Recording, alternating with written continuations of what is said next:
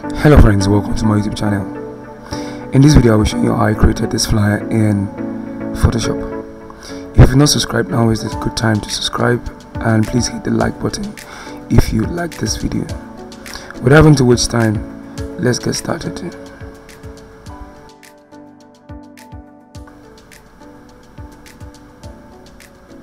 Okay, so like we've done in previous video, click on file and click on new so this time I'm just going to do um, a 5 by 5 right? Resolution 300 RGB everything else stays the same. So the first thing I'm going to do is create solid colors but before then I would like to change my foreground color and background color. So I'm starting my foreground color. So just copy my code that I used right? So this is the code that I'm using for this. Click OK and double click on the background color and use this code. So these codes that I'm typing in these colors are going to be basic colors I'm going to use for my design right? So these are the two colors. So next thing I'm going to do I'm just going to go ahead and go to gradient. Under basics I'm going to select the first one right? So I'm going to change the angle use my settings. Then manually I'm going to push it up like this.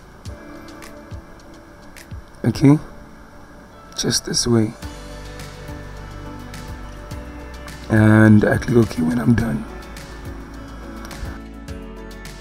Okay so next thing I'm going to do is I'm going to go over to my type tool and I'm just going to type changing the color from to white. So I'm going to increase the size also. Or I can do it manually by pressing ctrl T and um, reduce it from the edge like this. Make sure reduce it from the edge. Right so what I'm going to do with this speed that I typed is I'm going to make in several copies of this speed. Okay? So um control J but I'm going to skew it first. Hold down control and uh, move it to the position. Lest I forget the resource file is in the description of this video like always. So do well to download it and um, you can always follow along. Right so ctrl j again and bring this down like this. You can use your arrow keys on your keyboard to move this in place. Okay so I'll just ctrl z this. Um, ctrl z. So with these three layers I'm just going to select them one two three hold down shift and select top one and press ctrl j to make a duplicate copy of them. So i'm just going to bring this one down and move this in place here. Like this.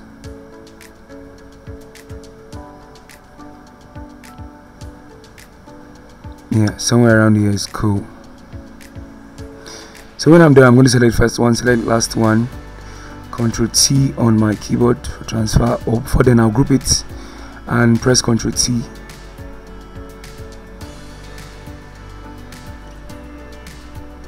Move it to the middle like this. And uh, holding down your control key your command key I'm just going to skew this in place like this.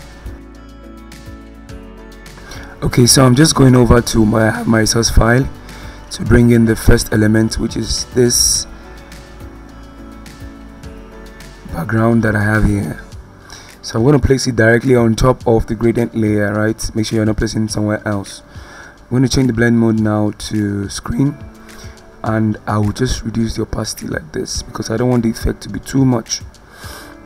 I need some nice shade of dirt all around but I don't want it too much. So I'm just going to reduce it all the way like this good i'm going to go up to the text layer. I'm going to bring in the next element. So double click it's a photoshop file. Double click it it opens in an, another document window. So just drag and drop inside of this window like this. It would be too big when you drop it. So ctrl t zoom out and um, resize it like this. Alright, make sure you're following the steps.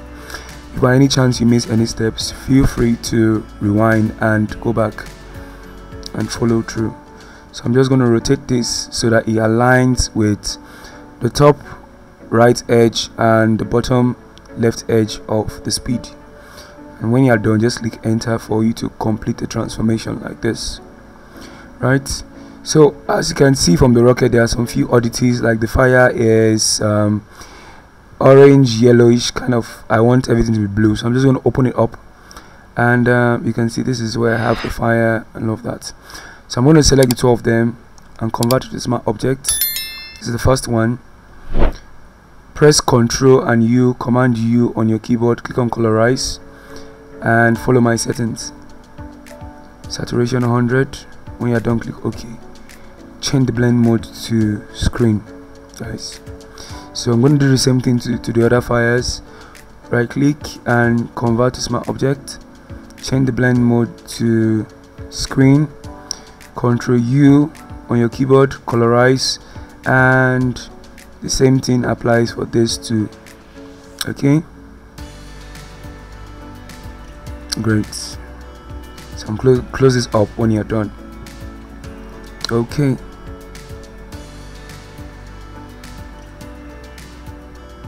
So I'm just going to rename this layer text.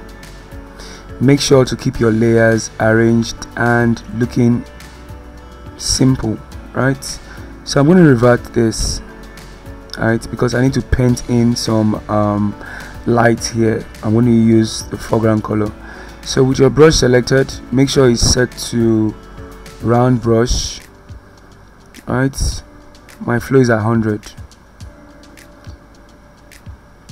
so you can select your eraser and um, feel free to reduce the size. So I'm just going to follow it this way like this. And um, if you make a mistake feel free to press ctrl z. And um, you could start again. Right so I'm going to change the blend mode to screen. Screen does it here for me. Okay okay so um, that's for that aspect of this design right? So let's move on. So um, I'm going to be doing a couple of things on top here. So I'm going to go and select my rectangle too.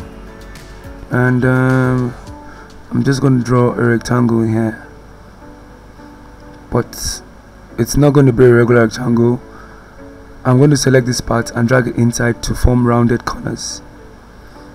Alright? Rounded corners double click on the thumbnail and I'm going to select this color. I'm going to come down here like this. You can copy the color code. When you're done click OK. So this is the color and this is kind of rectangle I'm using. Go over to your type tool feel free to type outside please. So I'm just going to type before I do that reduce the size. I'm going to reduce the size drastically. Because what I'm seeing here is so so big I'm just going to come here and reduce the size to like 16 I think this is fine. So I can then use this to type what I want to type. So this is going to be trade widths right? So immediately I'm going to make a duplicate copy of this right? So I'm going to drag this down. So what I'm going to write here is with ease. So I'm going to double click on thumbnail and type with ease like this. Okay? So I'm just going to change the color for both I'm going to start with this first. Align this to the edge. And I'm going to click on trade width I'm going to bring this in but I need to make this smaller. It seems to be too big. So I'm reducing the size I think 11 is a good place to start. Then of course with this let me increase it a bit so I should be doing the 12 double click on color and um, give it a white color like this. Okay? So I'm working on the rectangle now. So make sure you're selecting the rectangle layer. Create a new layer above it. Right click on this layer and click on create clipping mask. Go to your brush and uh, make sure you reduce the size of your brush. You can do it like this or use your bracket keys on your keyboard to reduce the brush. Okay? And like this. So with the brush selected my foreground set to the color on top. I'm just gonna paint this in like this. Make sure you do it just the way I'm doing it like this. Create another layer again slightly above that layer.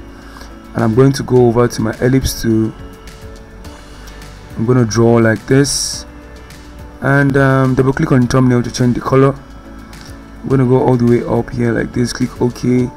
And um, I'm to create a mask with this because I need to wipe out some areas. Of course with my foreground set to black and soft brush I'm just to wipe out the top areas. Right so this is the effect I want to create on this 3d-ish kind of effect right so double click or uh, right click select blending mode. And um, create a drop shadow for the trade width right? Um, so I'm just going to reduce the size. Manually I'm going to drag this inside like this. I think you can drag manually too in Photoshop in case you didn't know before. So good news now you know. So I'm just going to reduce the opacity of the shadow and I'm going to click OK like this. Good. So okay so the next thing I'm going to do is I'm going to go to my source file and bring in this Bitcoin here. Of course I'm going to drag it all the way up then make it smaller like this. Okay so I need it at that point. I'm going to drag this layer all up onto the top layer. So make sure when you bring it in it's directly above the rockets layer right? So I'm going to make a duplicate copy of this same layer Ctrl J to duplicate this. Okay so I'm just to rotate it from the edge like this. And just so I have something like this. Right and also make it smaller too. This way. So with this one on top I'm going to start. Since you have a reflection of light here so it's a good way to actually create that illusion too. So I'm going to go brightness and contrast. Right click and um, create a clipping mask. Sorry not convert this object. Create clipping mask directly above that layer and I'm going to increase the brightness. You can see the effect right? And I'm going to work on the contrast. Let me leave this contrast here before and after but I don't want this effect to affect all around Bitcoin. So I'm going to press ctrl I to invert it. Since you are working in black layer make sure your foreground color is set to white. Select your brush and just gently double on areas that are facing the light region. Like this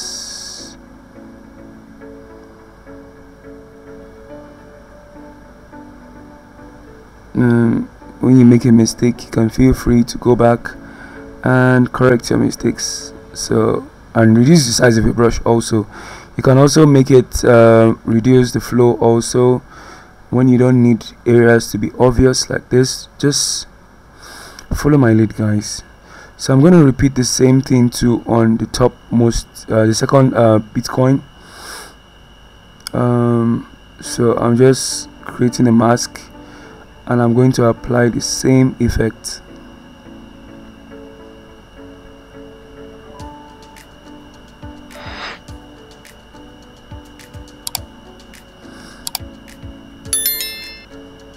So you're watching this at this time and you've not subscribed please kindly hit the subscribe button and um, don't forget to turn on post notifications so you miss any videos I'll be dropping anytime from now. So I'm just going to gently double on these areas um, where I have my light reflection areas like this and um, before and after right? Great. So um, I'm going to apply motion blur to it to the coin itself. Follow my settings. To create an illusion uh, of it being in motion apply it to the same thing to here. Same effect.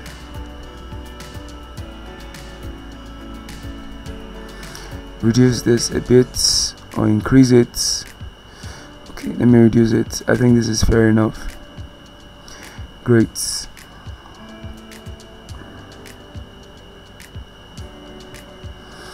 Okay so we've got to do the last lap of this design so I'm going over to the rocket now. I need to create the drop shadow. So if you notice I created a layer slightly below the rocket. So I'm just going to with my brush selected flow set to 100 I'm going to brush in some shadows for the rocket just like this. Make sure the layer is below the rocket guys. Below the rocket before and after.